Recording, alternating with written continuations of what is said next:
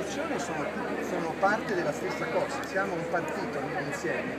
Dal mio punto di vista non esistono mondi paralleli, paralleli. la casa è una sola. Eh, me lo hanno sempre ripetuto quando ero minoranza, mi aspetto che chi oggi è minoranza sia coerente con quello che diceva prima. Proprio perché è stato minoranza, perché non ascoltare chi oggi è minoranza? No, io quando ero minoranza discutevo, portavo la mia posizione e poi rispettavo un principio democratico fondamentale, che è il principio del confronto e della maggioranza.